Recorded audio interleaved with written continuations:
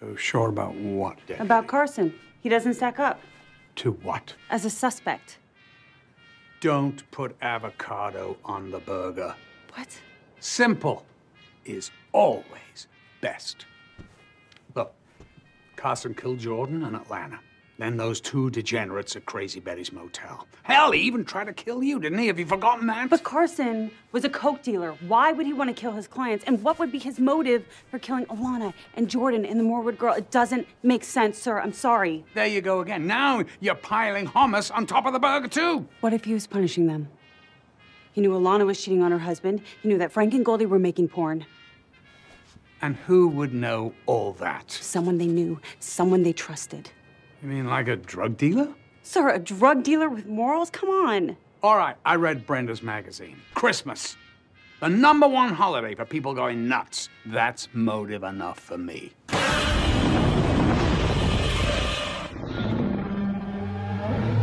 This podcast is not safe for work and will feature movie spoilers.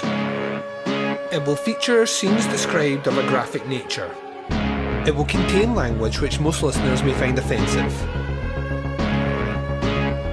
Welcome to the podcast Under the Stairs.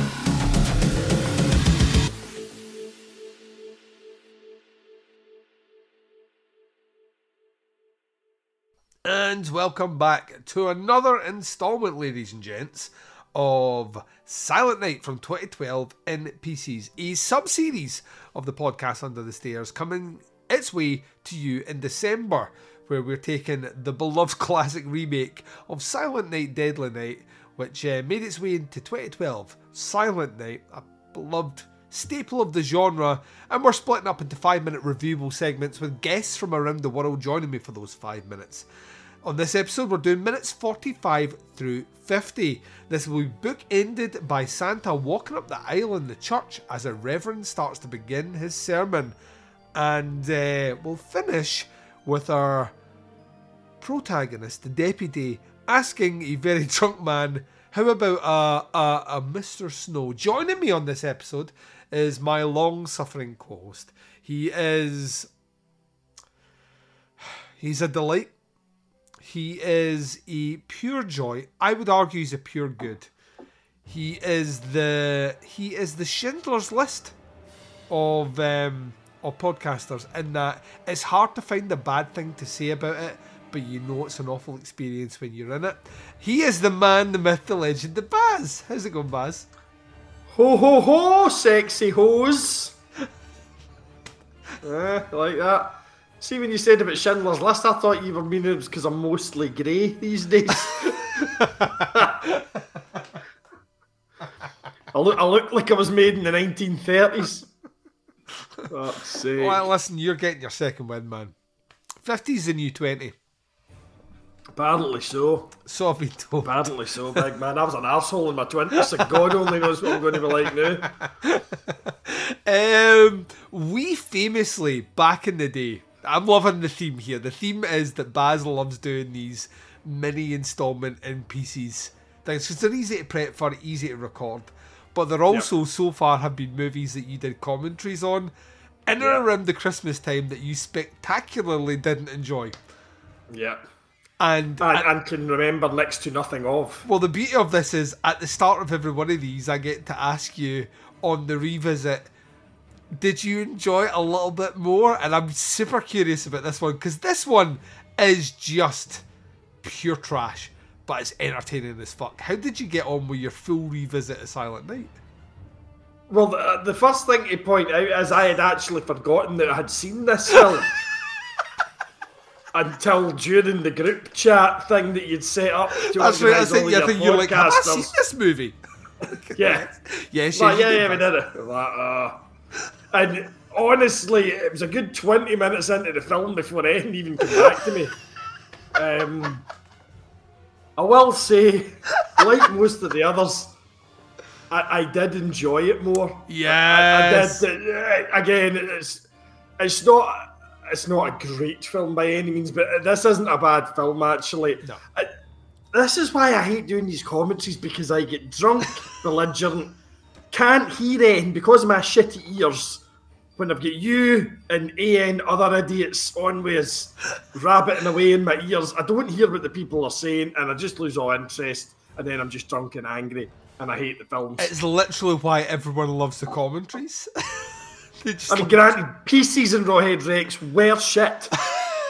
this one, this one less. So there's a lot to enjoy in this film. It's, du- it's dumb as shit, but It is, it is is a quite good. big, dumb, nasty slasher movie, and I kind of love it for that. Also bears almost no resemblance to the originals. This is one of these ones where the, it's a remake, but it's just trading off the name of a movie with very Off loose. Yeah, because I don't think I've seen the original. I- I've seen a lot of the Black Christmas ones. I think I've Yes. seen at least three of them yeah, yeah. yeah. over the years. The Um, but I- I Silent Night, Deadly think I've- Night, the original one is uh, like there's like two, maybe two scenes in this that are kind of copied poorly into this one, but this movie is its own entity, and it's kind of a shame. I, I've said this on a couple of the recordings already. To me, the idea, the premise of there's a slasher killer at one of these American Santa cons where everyone dresses up like Santa. So it could be anyone that's picking off people in the town that are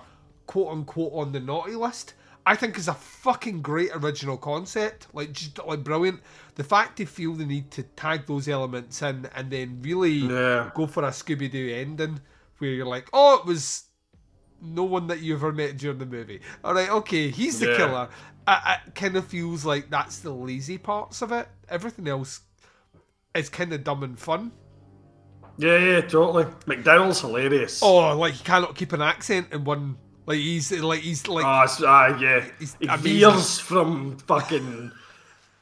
Like there's, I think there's one of the lines in, in one of my segments here. It's like broad New York cop. It's actually really really good, but it's the only line he delivers like that. then there's a kind of Midwest thing going on. Then there's a London accent at points. You're like, fuck. There's a scene in here where, where where they find the body. It's one of the earlier ones, and um, there's there's blood everywhere, and someone's wrote the word "bloody" in the script, not knowing that he can't see it in an American accent. It's like, ah, Jesus Christ, what a bloody mess! he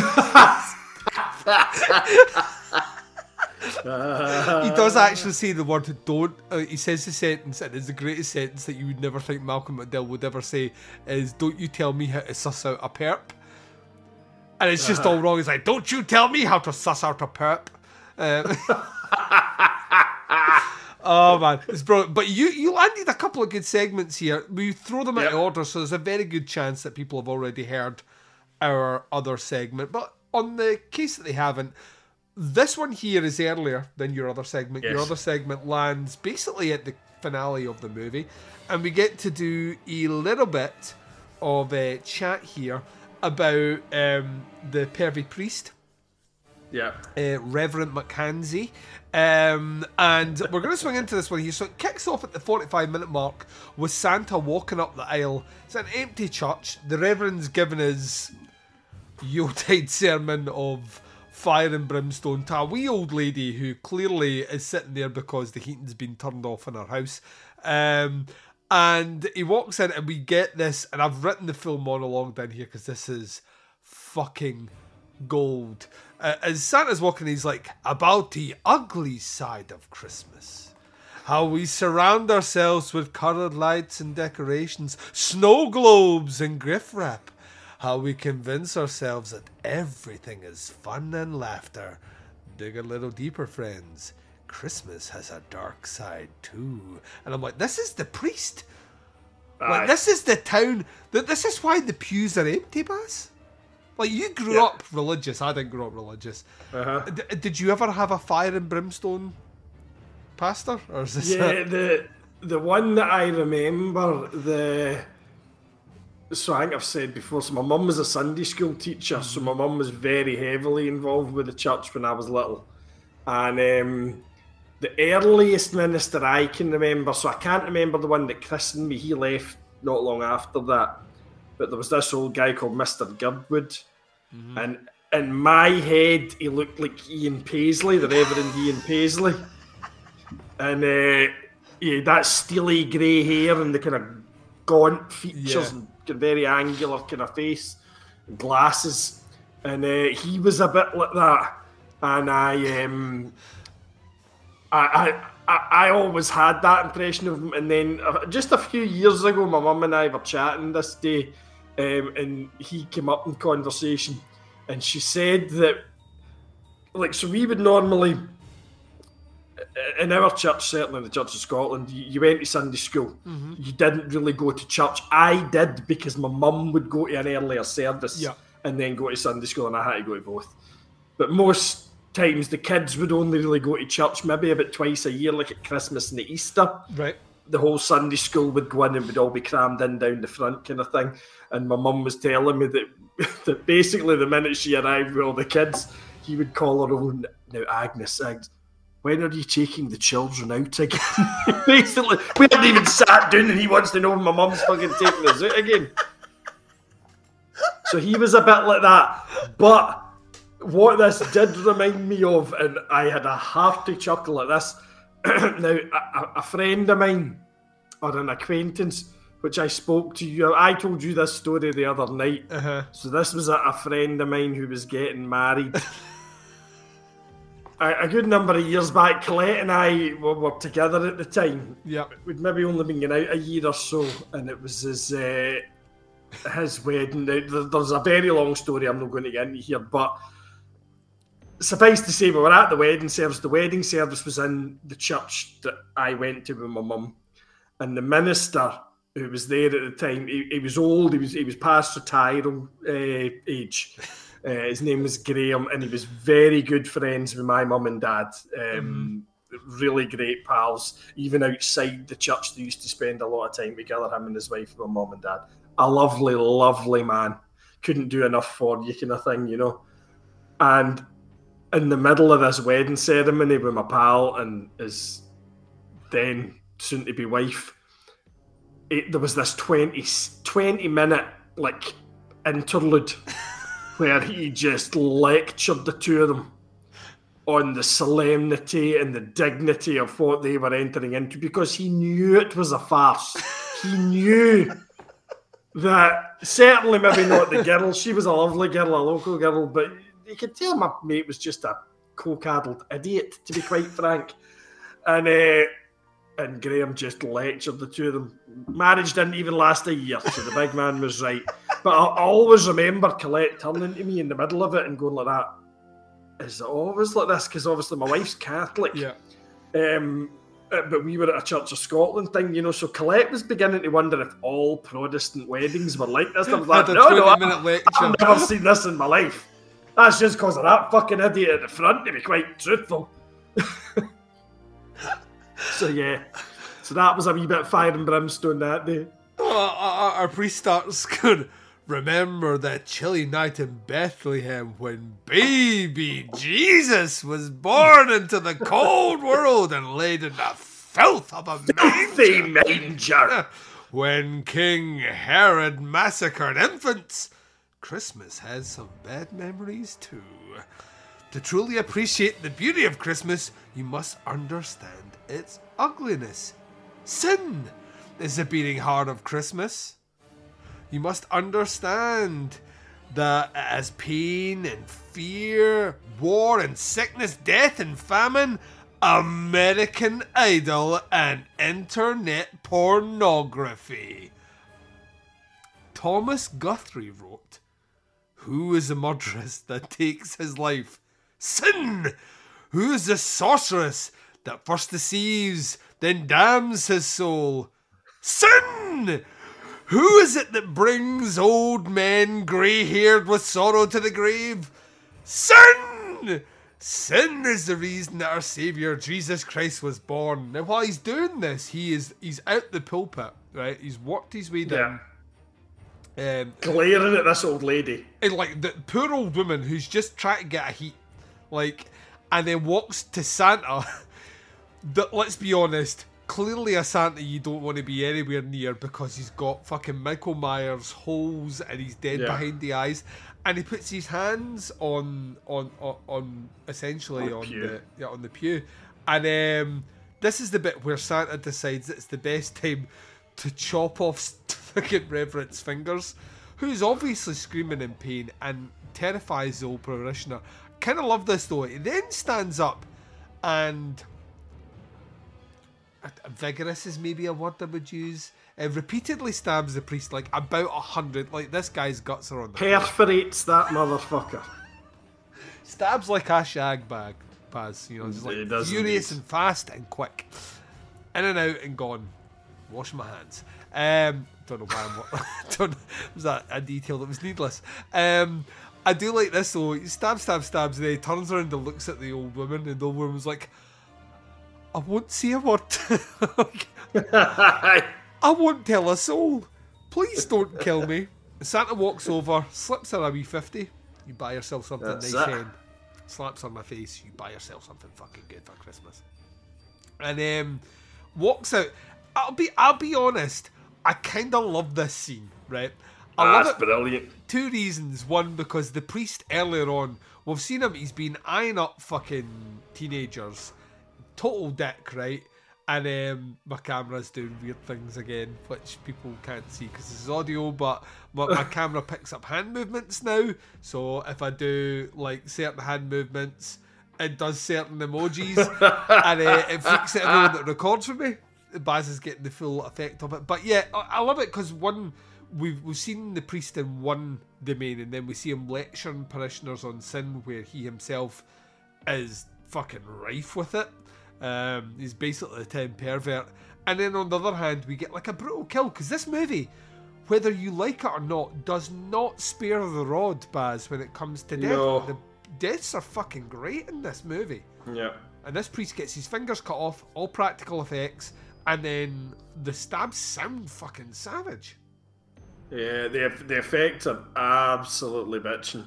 I I love this particular part. So obviously that, that's only the kind of the first half really of this little segment. Yes. But um, the the delivery, but the the overacting, the um the, the guy that plays the priest is is act is acting is criminal. but it's so over the top that it's funny. And the, the bit that sticks in my head, uh, your monologue, is just near the end when he internet pornography.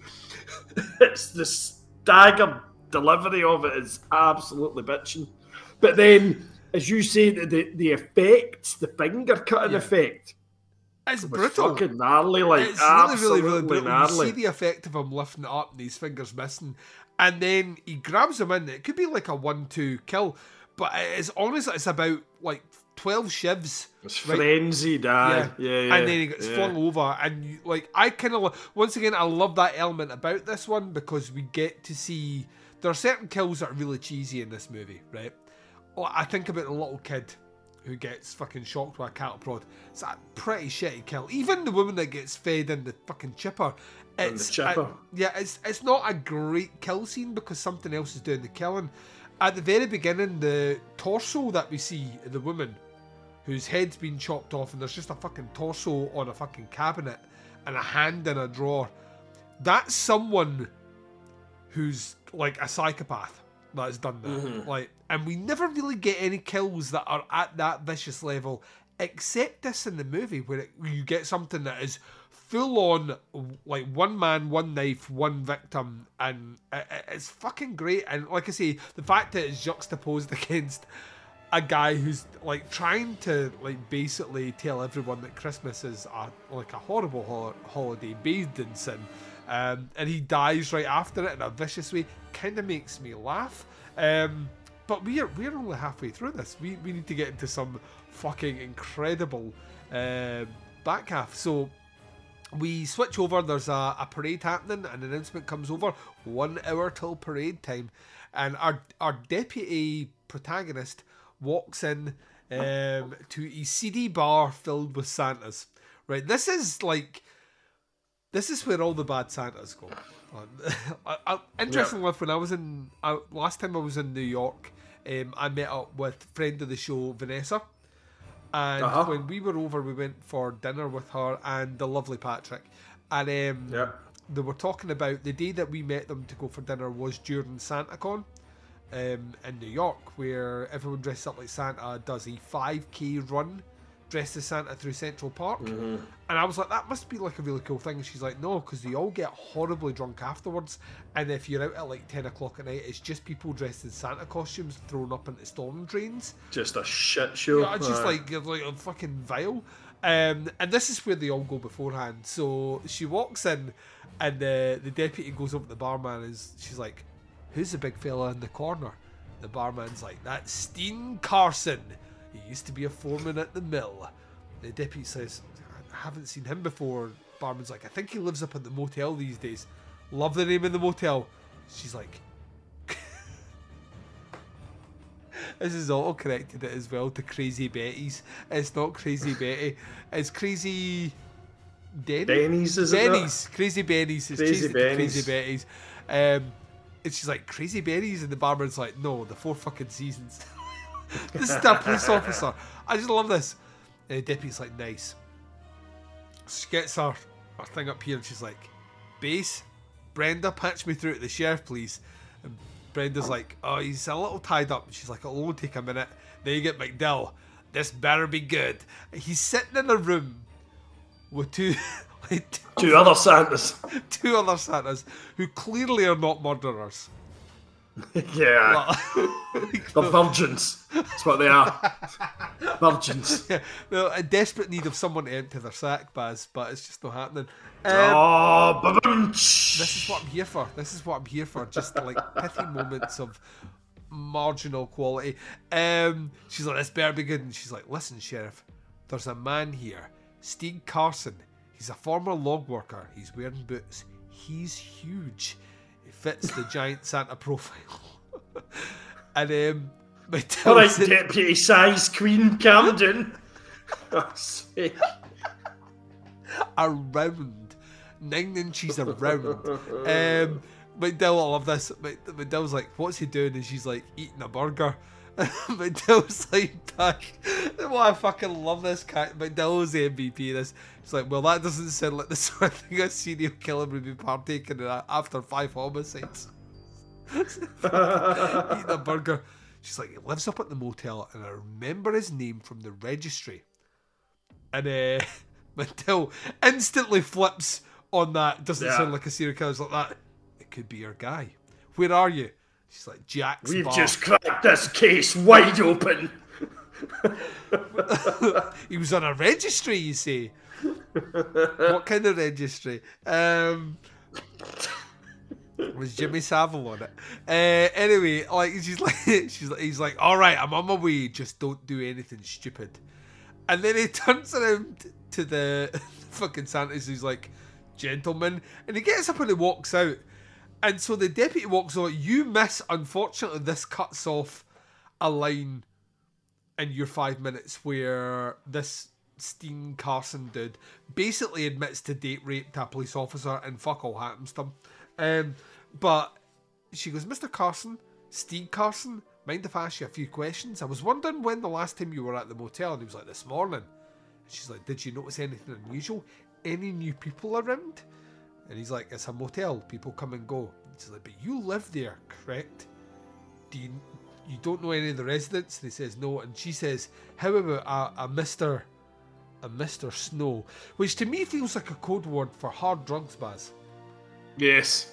I was never involved with that scene, but if you were looking for a Mr. Snow and you were adding a wee wink at the end of it there, You're looking for a wee bag of the cocaine. Which interestingly enough for the listeners out there and dating this year, I tagged Baz in a competition earlier on uh, to win some Colombian Colombian roasted coffee beans and a coffee maker. And what was your comments back to me, Baz? When I saw bag of Colombian jazz, I thought it was drums. See if you win that competition because you're effortlessly funny. I will not be happy. Um, They're like, this guy's hilarious. Let's give him the coffee machine and the bag of coffee beans. I'm not be happy. he needs caffeine. he needs caffeine. Um, that's our five minutes here. You you landed a good one. You get a death. You get Primo Silly, Malcolm McDowell. You get our clueless fucking deputy, easily one of the worst deputies in the history of cinema.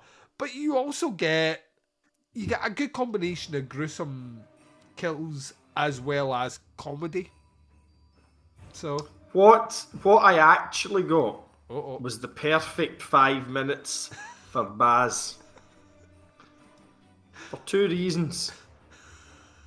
One, I agree with the preacher. Christmas oh. can be dark as fuck. And two, I have been that barman. So, here's a wee story.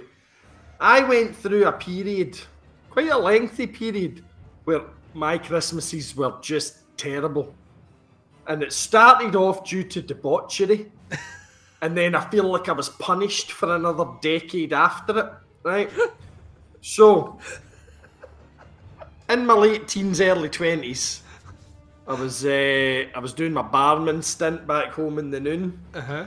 and um, my my big sister uh, had her first kid, had my niece, she, and my niece uh, was the first-born grandchild for my mum and yeah. dad. But at the time, my sister lived down in Blackpool in the north of England, so my mum and dad started wanting to go down there for their Christmas to see the wee one, which Yep. was fine, right? I'm 19 at this time. I just want to get drunk, make love to some beautiful women, do you know, or what passed for the Dunoon. And um, so I, I then started saying, right, well, listen, I'm not going to go. I'll just stay up here. Well, you can't stay up here on your own for Christmas. It'll be terrible. Oh, that's what you think, Agnes, dear. Trust me, I've got fucking plans, hen. Christmas is going to be bitching. Right.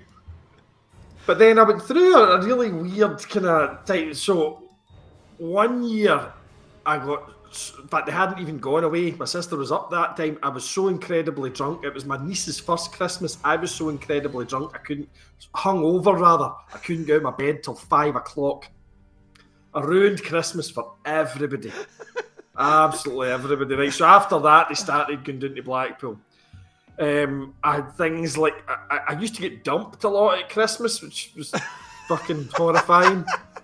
And I remember one time it was so bad that I'd been dumped, and the, the girl that dumped me, her mum felt so sorry for me because my parents were all away that she made me go to theirs for my Christmas dinner, and I had to sit and have my Christmas dinner with this person who just left me and her entire family. It, it was fucking horrendous.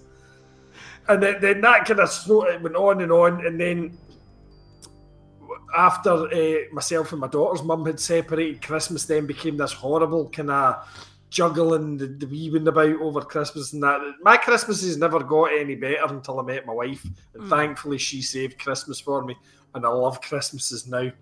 But the the killer story from that whole fucking period was the first time mum and dad went away.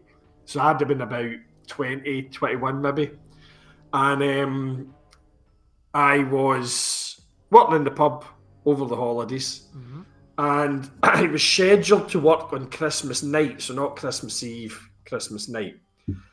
And one of the women that worked in the pub was on a day shift, but she had kids. And I said to her, listen, I'm on my own for Christmas anyway. I would rather go out tonight, or on Christmas night rather. I'm more than happy to swap shifts with you if you mm-hmm. work Christmas night.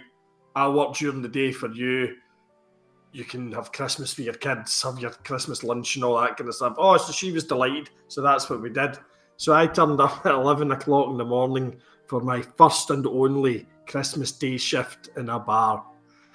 It is the saddest, saddest nine hours you can possibly imagine. It's uh, uh, because I'm going like that. It'll be fucking dead. It'll be a piece of piss. Do you know what I mean? And th- th- there was always a thing. I don't know if it was everywhere, but certainly Dunoon. A lot of guys would go out maybe at two o'clock, maybe for an hour, two hours, have a few pints with their pals, and then go home for their Christmas dinner again with their family. Right? ah, we're gonna see some of the boys during the day and all that. What it actually amounted to was about three hours mind numbing boredom. Just as the realization of what you've done sinks in, right? Mm-hmm. Followed by two manic hours of utter mayhem. With everybody telling you what a wonderful time they're having and can't wait to get back up the road to their Christmas dinner. That's then bookended with another three hours where the only people that come in are old men with nobody in their life left. And it is soul crushing. Absolutely. Because you're like, oh, how we, how we doing? Oh, Christmas is a hard time, son, you know. It's, I love a wee grouse. Hate to tell you, but you're going to have to pay for it. I, I, I can't give you. I know you want me to give you this for free, like some kind of Christmas fucking miracle, but I just can't work it for you. And honestly, by the end of that shift, I think I was working till maybe seven o'clock at night. By about six o'clock, I had lost the fucking will to live. I didn't even want to go out at night, which was the whole fucking reason of me doing this shift from hell, right? And this old guy came in, and I didn't recognise him. And I, I, I'd worked in the pub for a good couple of years, and it was very much, uh, it was a busy pub at the weekends, but during the week, it had a kind of clientele just of old, old age pensioners and stuff like that that would come in during the day and would do their wee betting slips for their horses and have a wee drink with their pals, and then they would go, you know. So it was quite an old man's kind of pub. We didn't do food or anything like that. It was just a pub for drinking in. And uh, this guy came in, didn't recognise him. Queer looking cunt, big long fucking raincoat, looked like a flasher, right? and uh, I always remember I had, I was, sm- this was in the days when you could smoke in the pub, so I, I was smoking at the end of the bar furthest from the door, and he mm-hmm. comes in the door and then stands at that end of the bar, so I have to walk all the way back down the bar. What can I get you, mate? I'm no your fucking mate. Oh, fuck off. Merry Christmas. Just fuck off. I was like that. I just looked at him, I was like, what? It's like, I'm not your fucking mate. I was like, no, no, no, you're not. I, I was just trying to be polite and welcoming. But you can fuck off! And I literally threw this old man out the pub on Christmas Day. Fuck it, honestly, I've never been so close to hitting a senior citizen in all my days. Honestly. It was terrible. It was the worst shift of my life in any like job I have ever guy had. in Scrooged that Bill Murray finds frozen to death in a sewer. he fucking threw out.